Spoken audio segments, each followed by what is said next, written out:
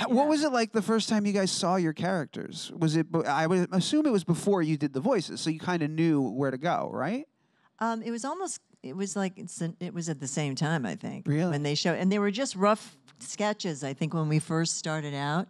Um, but when I saw Eda, I immediately went, "Oh, that's my girl. I know her. I know her. She even she even dresses a little bit like Nina Van Horn from Just Shoot Me." I said, "I love her dress. I love her tooth. I love that little snaggle tooth sticking out." Um, no, I just fell in love with her the second I saw her.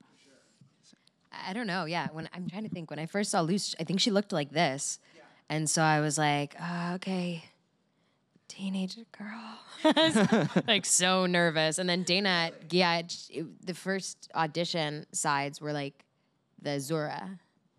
It was like a yeah. funny little speech that she was doing, and Yeah. she gave me like one note, and I was like, oh, I know exactly who she is. She, Dana knew. Where were you when you found out that you were going to be Luz? How'd you How'd you get the news?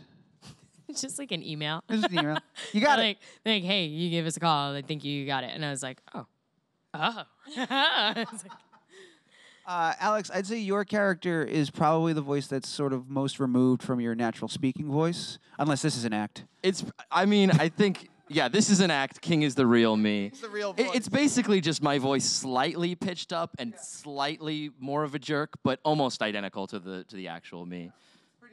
How do you how do you make those decisions? There's a lot of great YouTube videos of you doing like all your character voices and like flying through them really quickly. How do you uh, figure out where this one's going to land and what Yeah. King should sound like? Sure. Yeah. I mean, you know, Dana is the master of this world. This is her imagination made real on the Disney Channel. So, you know, like I had a couple of different takes I wanted to do, and Dana kept saying, like, not like p- more like you, just more like actually you, just you.